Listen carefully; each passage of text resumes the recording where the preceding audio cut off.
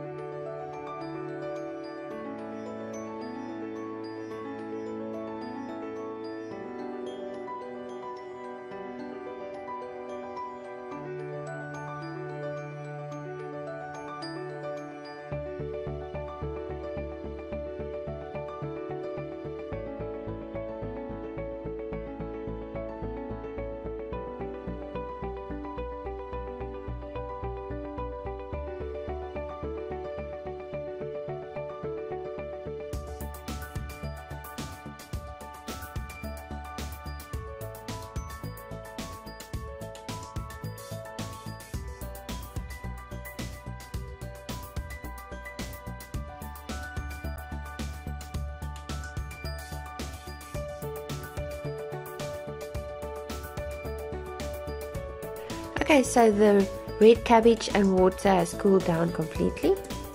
I will be using the masher to completely squeeze out all the juices out of the cabbage.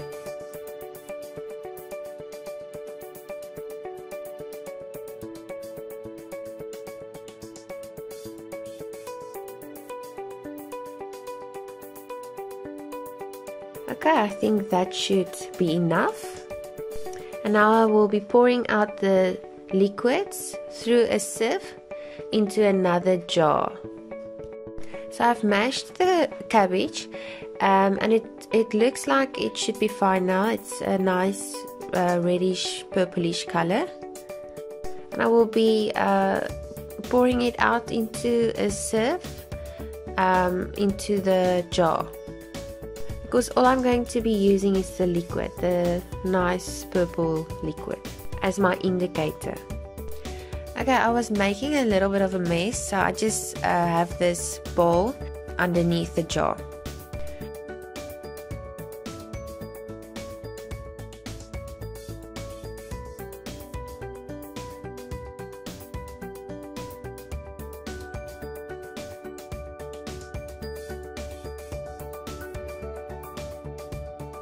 We go. Okay, that's our indicator. It's a nice reddish purplish solution. And we'll just place this one side and continue with the rest. So for our acidic solution, our vinegar solution, we will be pouring 90 ml distilled water into this measuring beaker.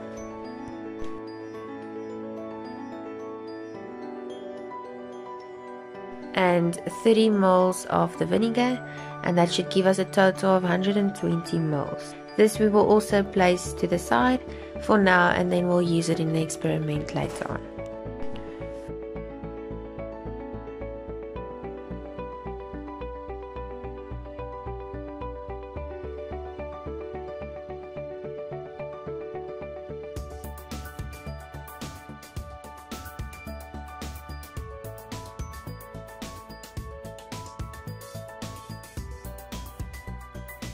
For the baking soda solution, we have 90 ml distilled water and we will pour uh, half of a teaspoon bake, baking soda into the water and mix it well.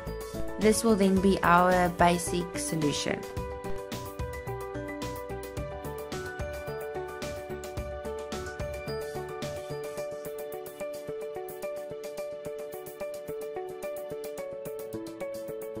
Okay, so the preparation for our experiment is done and dusted. We have the red cabbage indicator, the baking soda solution and the vinegar dilute solution.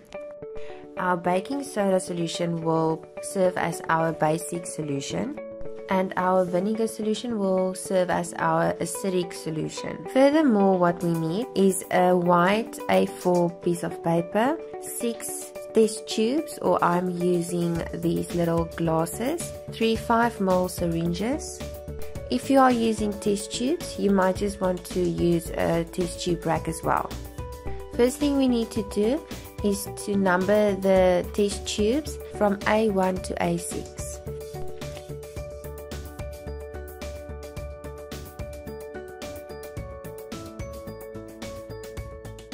Next, we have to take our syringes and mark the one as our indicator, another one as our basic, and the last one as our acid. This is how I did it. I marked the one with an I for indicator, the other one that's marked with a B is for the base, and then the last one is A, that is for our acid. The next step for us is to take our basic solution, our baking soda solution, and to pour 5 milliliters of that into each glass or test tube.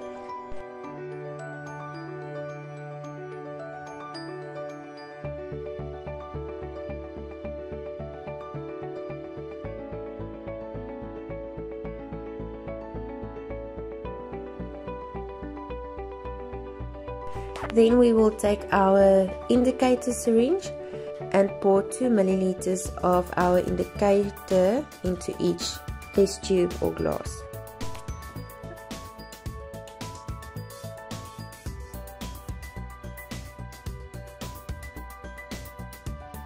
After completing that step, let's just first take a look at the aim for this experiment before we move on. So the aim is to determine what volume of acid is required to neutralize a certain volume of base if the concentration remains the same. Because we are using a red cabbage indicator, the colors will differ from the pH scale that we are used to.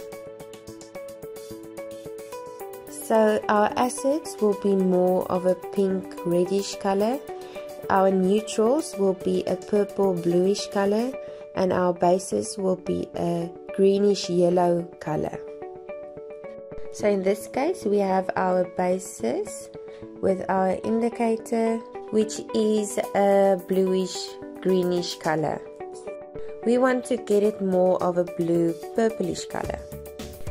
So for this step we will take our acid syringe and take about 5 ml of the acidic solution and carefully drop the solution into each of the test tubes. We will wait about 30 seconds between each drop or, e or each second or third drop until my solution went from a blue greenish color to a more blue purplish color.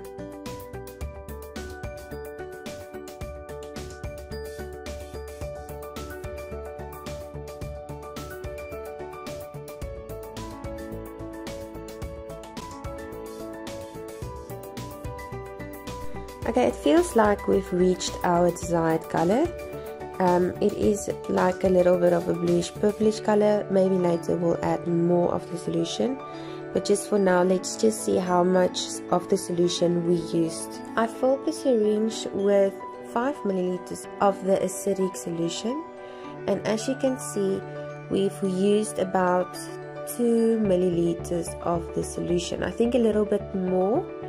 Um, because there's only 3 milliliters left. Maybe a bit less than 3 milliliters. So I'll be doing the same for each test tube from A2 to A6 to save time I'll, uh, I'll immediately pour 2 milliliters of the solution into each glass and then I'll check afterwards if I need to maybe add more. In order for us to reach the same color as A1.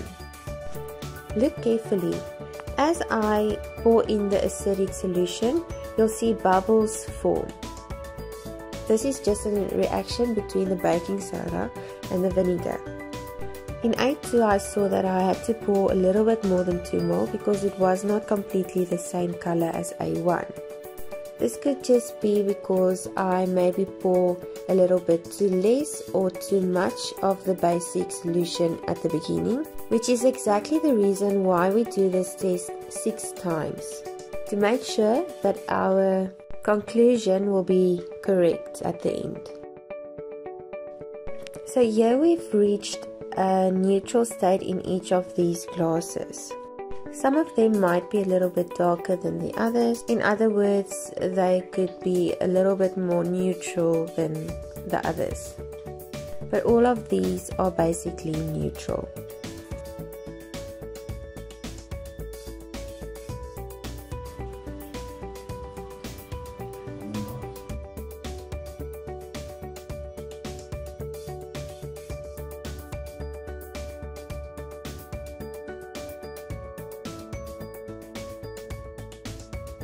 Just for interest sake, I would like to show you what happens if we pour too much of the acidic solution into one of these glasses.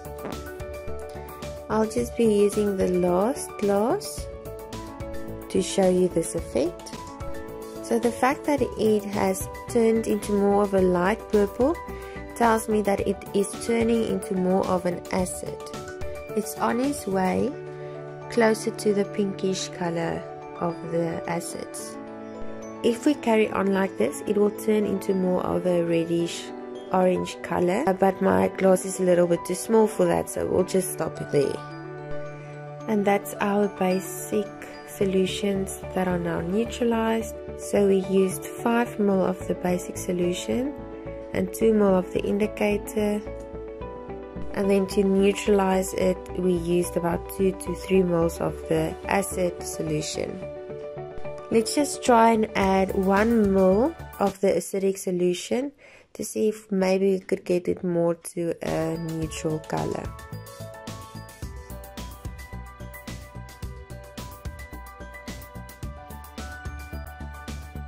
So it looks like it turned into more of a bluish purplish color. That's why I said um, to neutralize this basic solution, we use 2 to 3 moles of the acidic solution. In some of the glasses it was a little bit more, in some of the other glasses it was a little bit less. Again, why do we do this experiment 6 times? To be able to calculate an average value and to minimize the effect of human error and inaccuracy.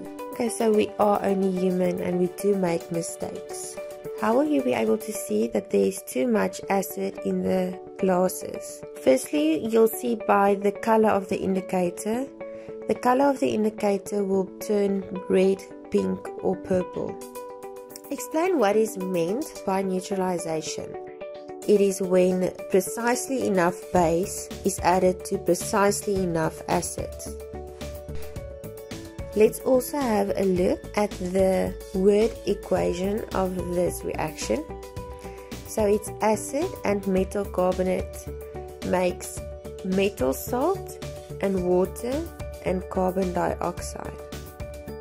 It is on the screen for you guys. And what can we conclude from this experiment, our conclusion, is that when precisely enough base is added to precisely enough acid, neutralization takes place. Too much acid or base will cause the product to not be neutral, but acidic or basic depending on which substance is in excess. So if I add too much of the acidic solution, your product will be acidic. If you add too much of the basic solution, your product will be base. Okay, that's the experiment that we did today. I hope that you learned something from it.